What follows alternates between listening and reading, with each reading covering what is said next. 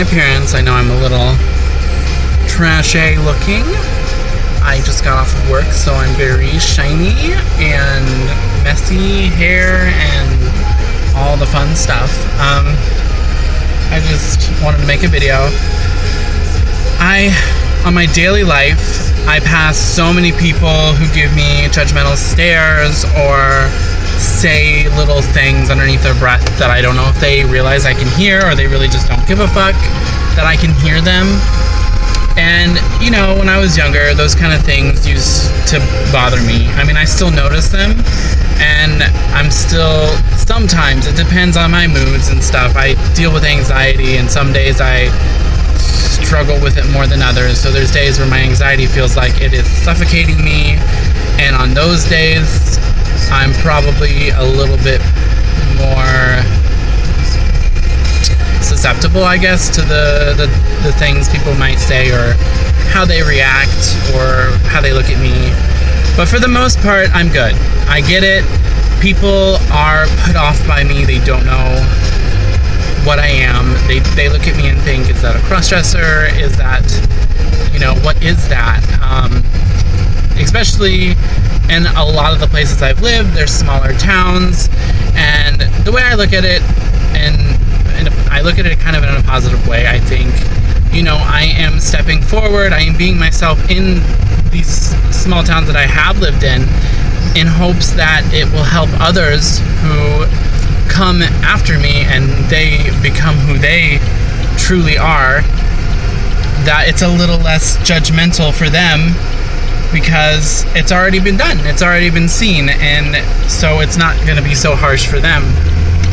Because it was really hard for me starting out.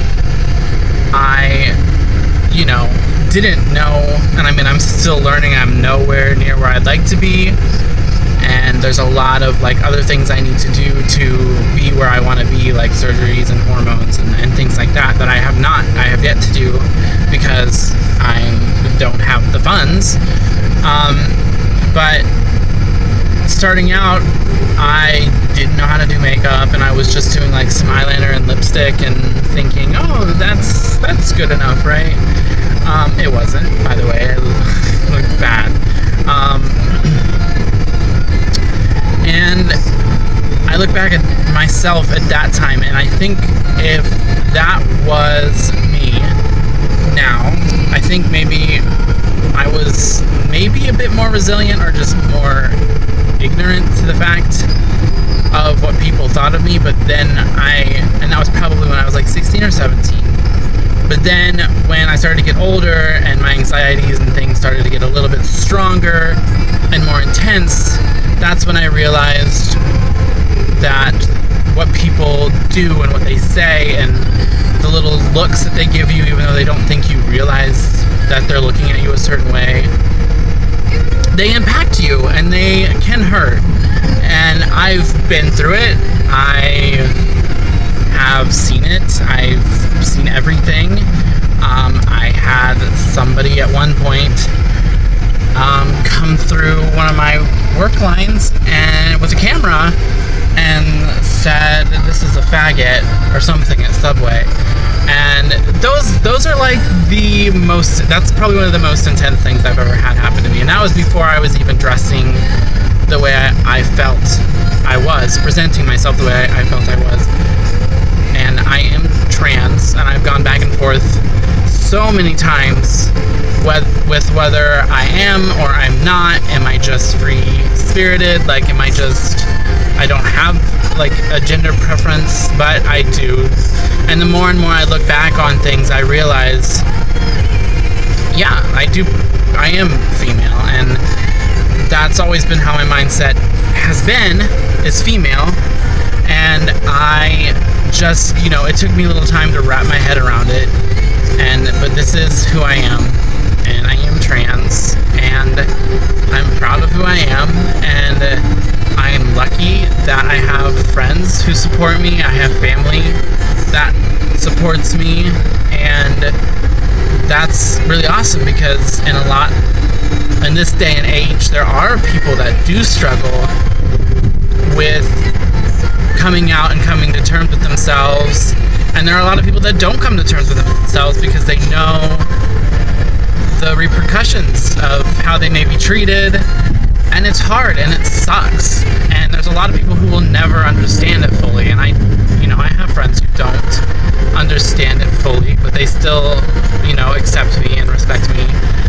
Um, so, I mean, just going forward from the, you know, from here, just know that there are people who know what you're going through and it'll be okay. Just be true to yourself, stick with the people that support you. And unfortunately, that may not be your family, and that sucks. And I am so sorry that that's not, you know, who is there supporting you, because that's who should always be there supporting you. Um, but what I want people to know is that it needs to stop. The the little things that people say, the little looks that people give. I get it. It's something different. But you have to look at this and think, what if that was my son or my daughter?